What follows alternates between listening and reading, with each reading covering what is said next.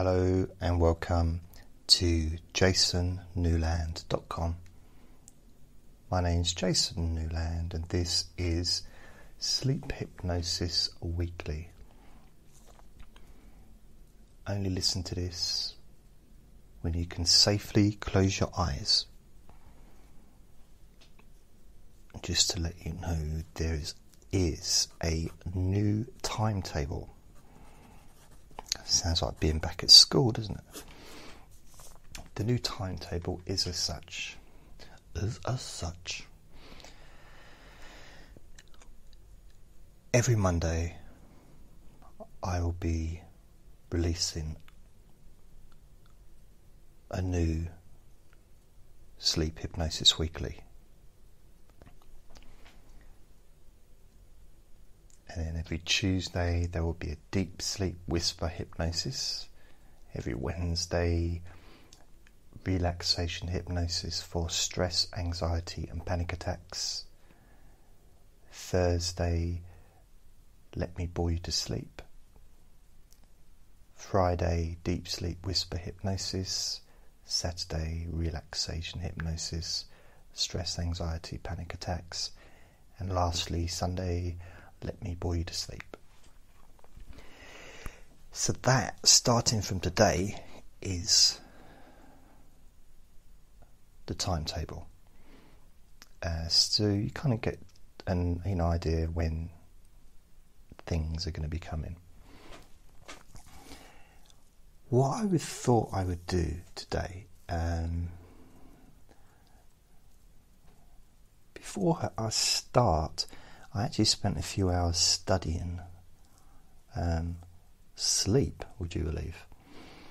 Uh, I don't just make this stuff up, I actually do make it, I do make it up, but I do also study and uh, a few points came to mind as I was reading this textbook. So I was sitting in the library and um, got a bit of a cough at the moment, so I'll just let you know. I have to put it on mute every now and then to uh, to cough. Just had it for a couple of weeks. One of the things that's come along that kind of jumped out of the page to me was that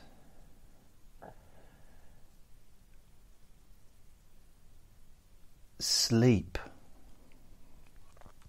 and anxiety are kind of, I don't want to use the word war, but opposites. And a lot of reasons that people struggle to get to sleep is because of anxiety or racing thoughts and a couple of things that they said in this book actually really resonated with me. And I'll tell you what they are. One of the things was that, and I don't know if anyone really knows the reason, but the time that we have racing thoughts is generally in the evening.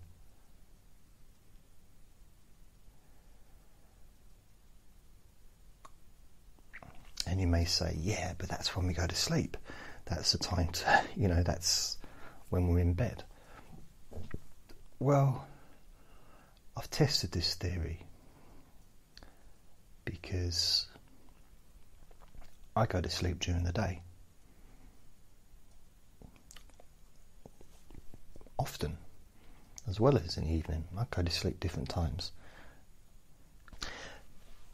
Not because I've got a sleep issue or sleep problems. I'm just really lazy, and uh, I, you know, I, I, do different things at different times of the day, and um, what I've noticed is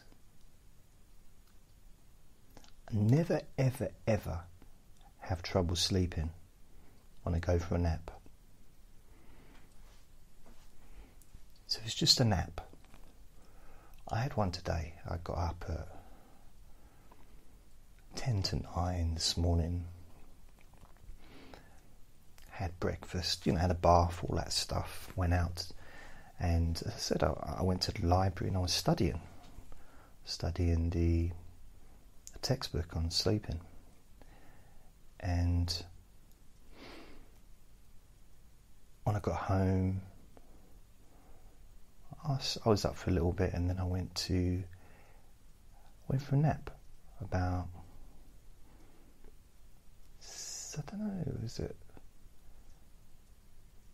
probably just four thirty, something like that. And I just fell asleep instantly. I woke up probably an hour, maybe later. I felt fine. But there was no thinking. There was no racing of thoughts. There was no. I didn't want to go to sleep.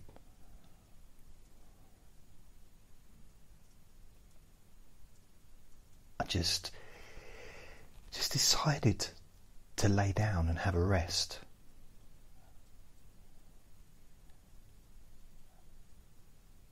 I didn't need to go to sleep. I was a little bit tired, but I just fancied doing nothing, you know, just resting. But I didn't need to go to sleep. I didn't necessarily want to go to sleep. wasn't egging myself on, wasn't putting pressure upon myself. There was no racing of thoughts, there was no constant, you know, battle between feeling tired and, you know, needing to go to sleep because I've got to get up in the morning and I've got to do this and do that and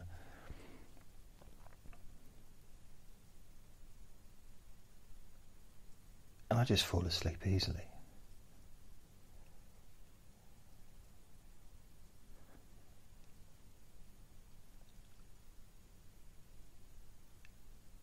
It just feels very different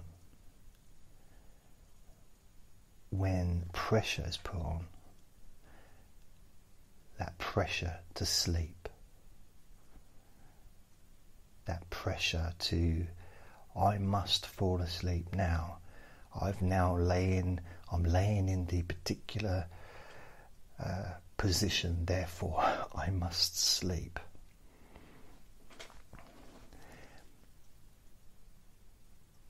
And what was interesting about this is the book I was reading was talking about children. going to sleep and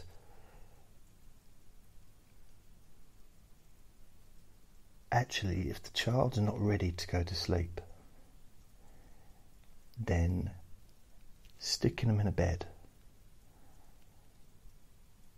and forcing them to stay in that bed can actually cause a sleep disorder within their child because they become anxious and they start listening to things, and it's, it's dark, and a child's mind is so active and creative, as we all of our minds are. But with a child, it's like a bit quite. Um, there's a line, isn't there, between reality and fantasy with children, young children.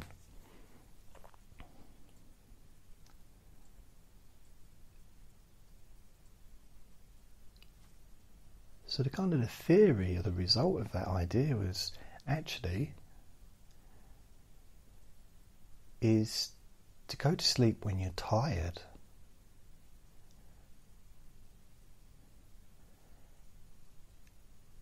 And not try to force yourself to go to sleep.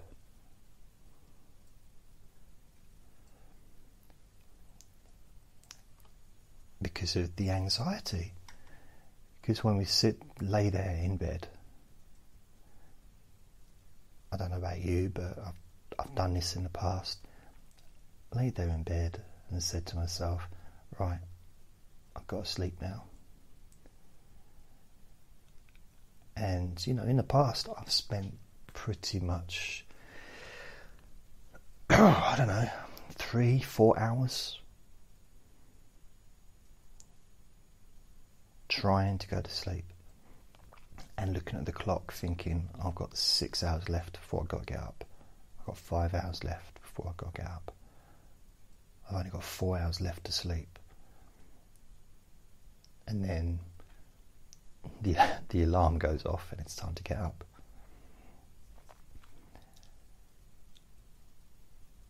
And that was four hours of very unpleasant anxiety leading up to actually falling asleep.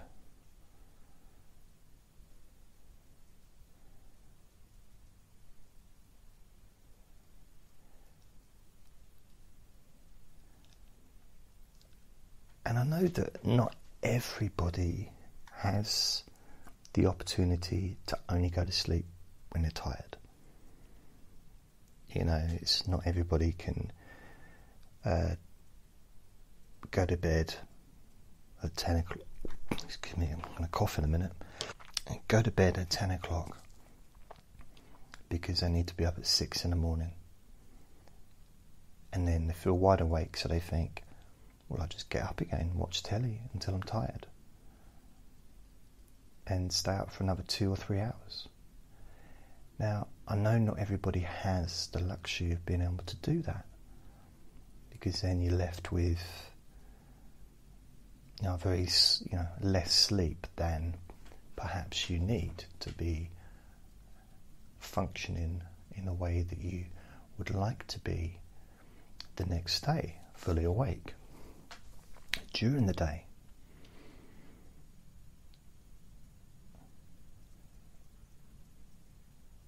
But there is something that I think when you listen to these recordings and you listen to anything, something about the intention, the intention of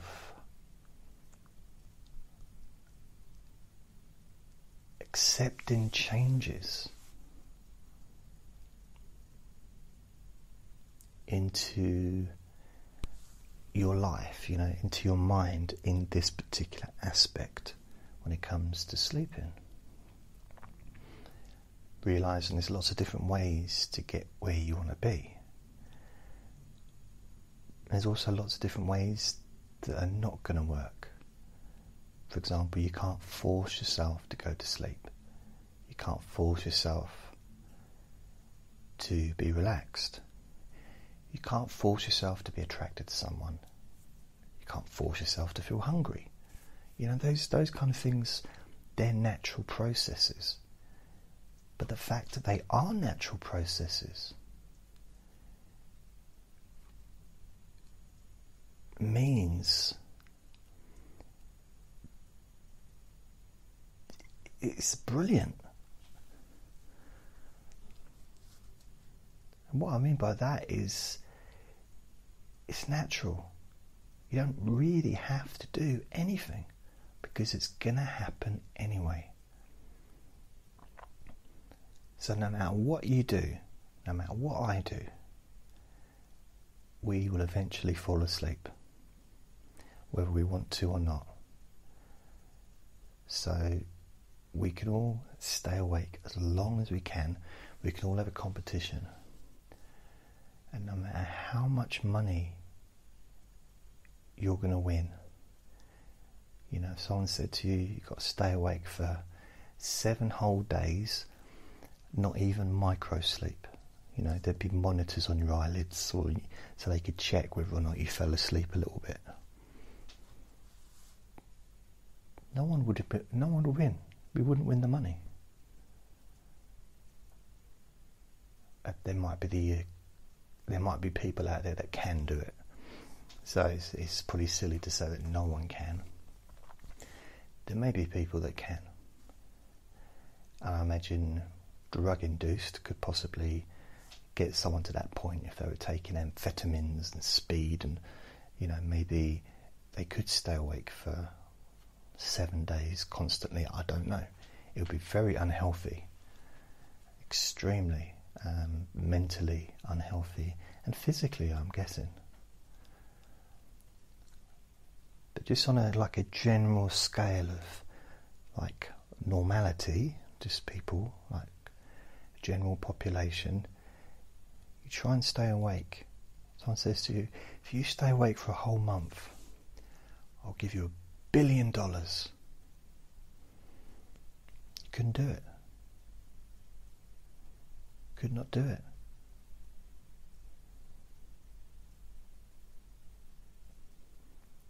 Impossible. I would even go as far as to say if someone said, if you can stay anxious for a whole month, non stop, you get a billion dollars. You couldn't do it. Because it doesn't work that way. Because no one chooses to be anxious. Once you choose to do it, it won't play along. Because it goes against. How can you choose that? It wouldn't happen. It'd break up the cycle. It'd, it'd be an interrupter. It would be like breaking the the electrical current.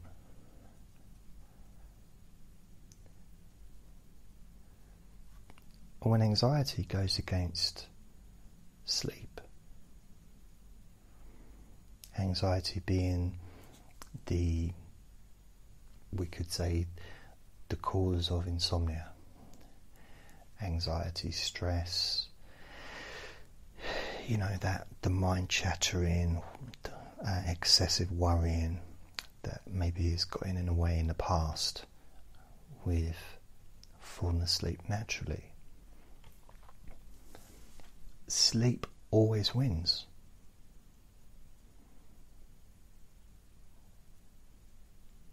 In the end, sleep always wins.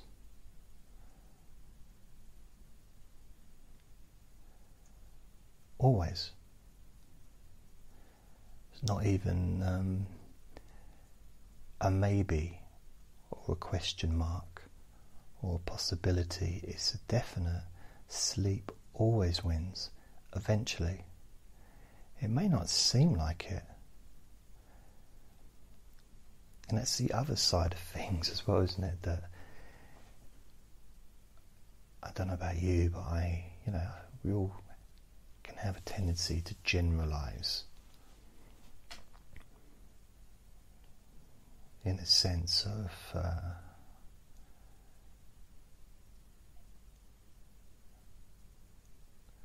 saying, Oh, I've had a sleep.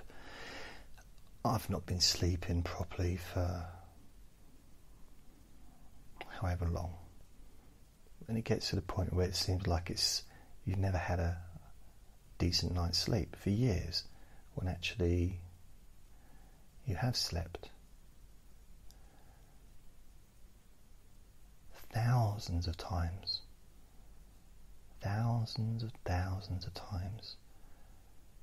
And you think 365 times a year, generally, we all sleep.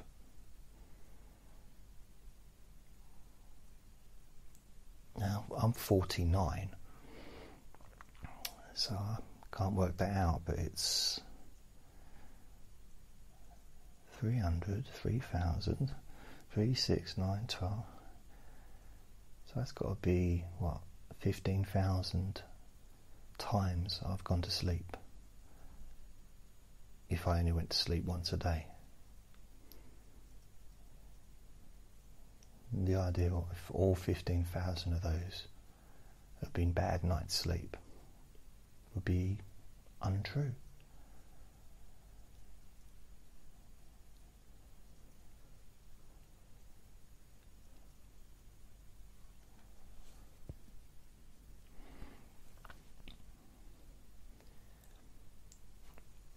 And as I continue to speak, I just want you to get in touch with that sense of relaxation that you have in your body.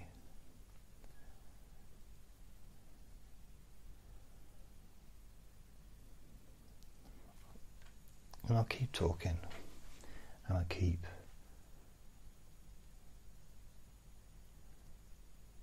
out some ideas. I don't know about you, but I like the idea that actually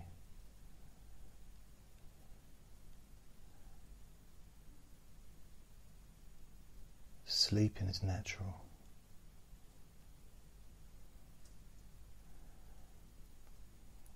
I like the idea that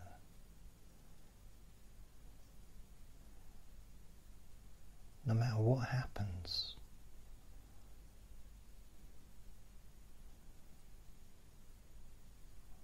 falling asleep will always occur.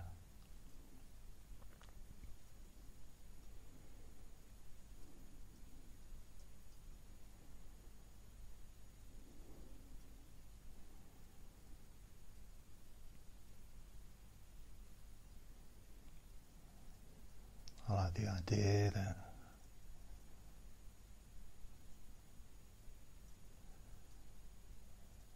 it's actually really easy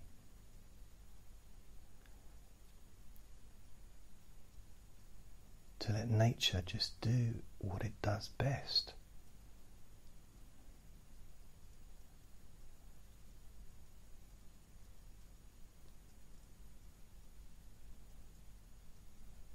To let your body and mind do what it does best.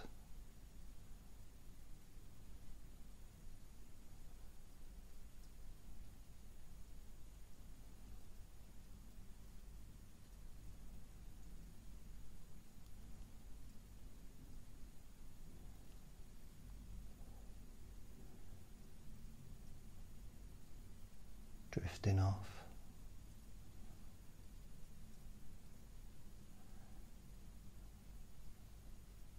Easily because it's natural.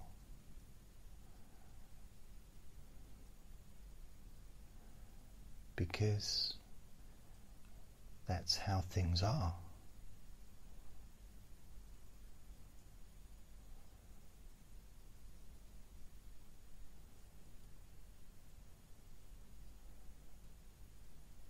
We're all born with the ability to sleep.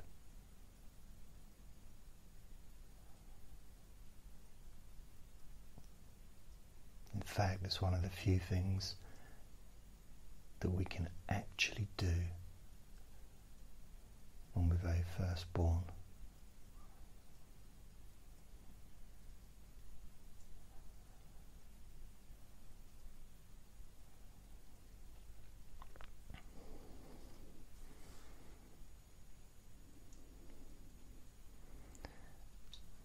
And although we've learned all these other things throughout our lives, these things that we can now do walking, talking, reading, writing. It's just infinite amount of things that we could all now do. That we've learnt since we were babies.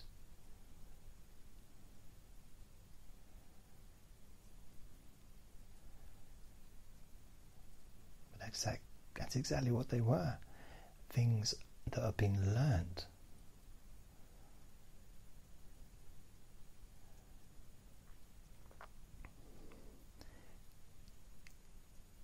Even potty training had to be learnt.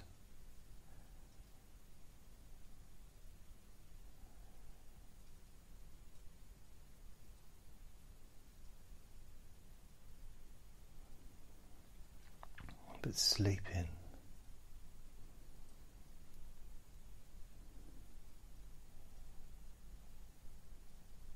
That's a skill that we never needed to learn.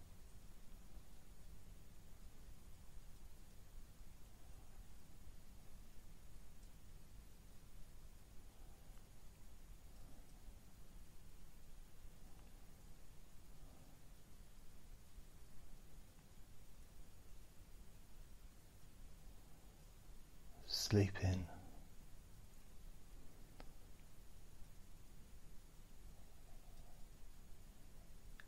Is so easy because it takes no effort.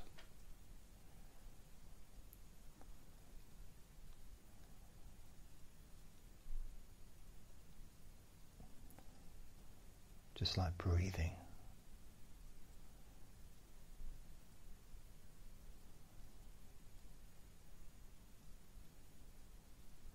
It's as automatic as our hearts beating and the blood flowing through our veins.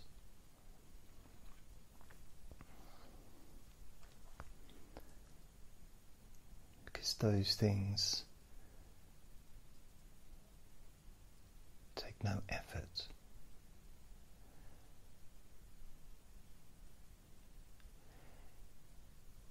They don't need or require any conscious attention.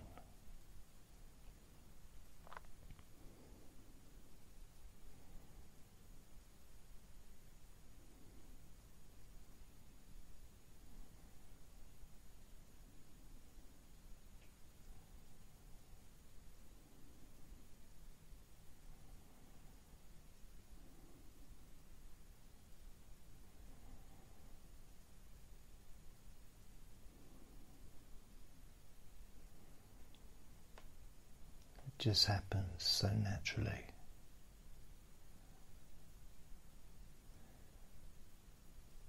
So easily.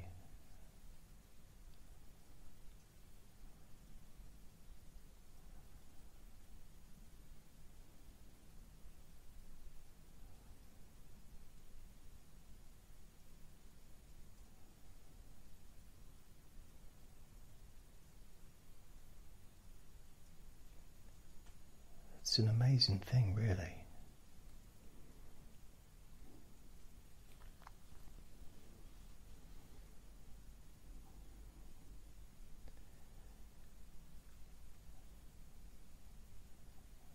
When you, when you really give in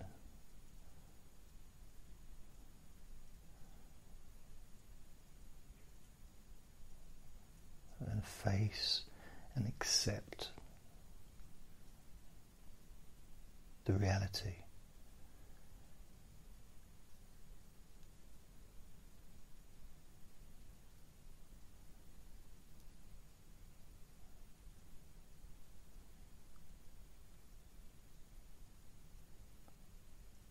The sleeping, falling asleep.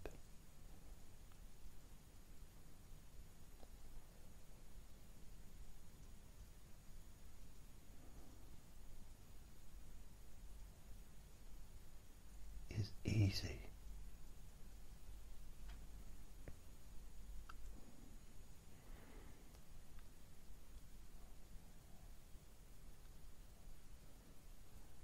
Sleeping.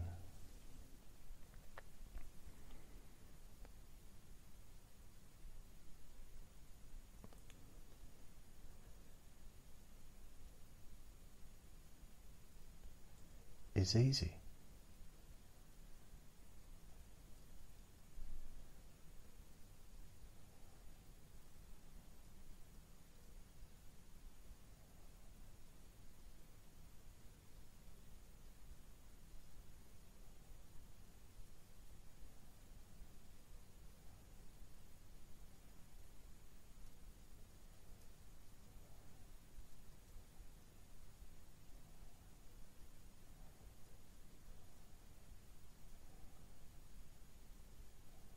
Takes no effort, doesn't need or require anything.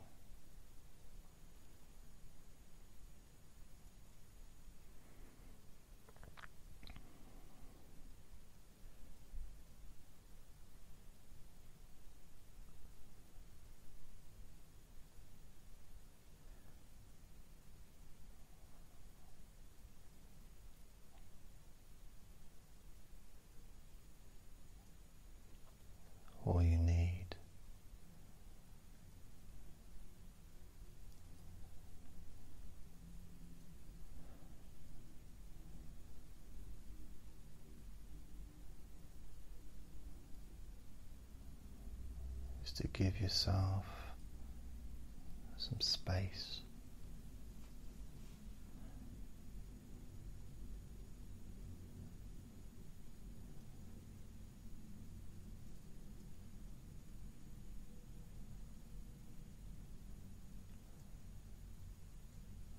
Allow yourself permission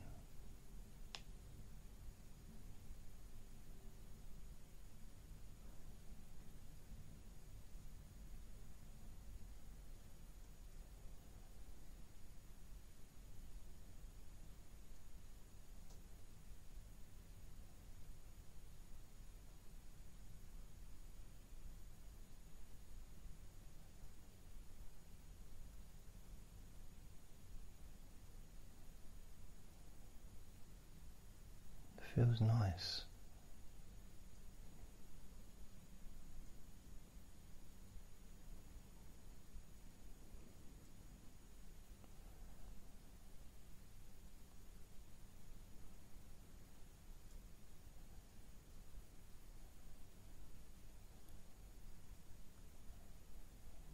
just relax.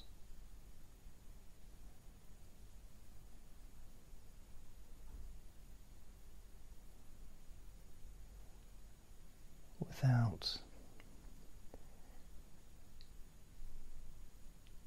anything, you know, without any any need, without any want.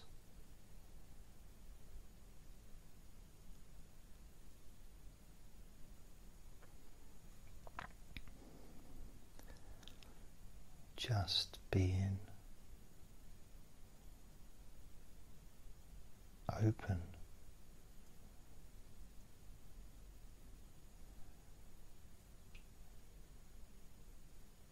To the idea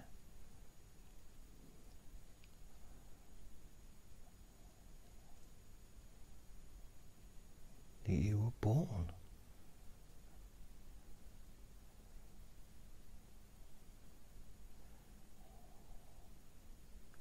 with this ability to sleep.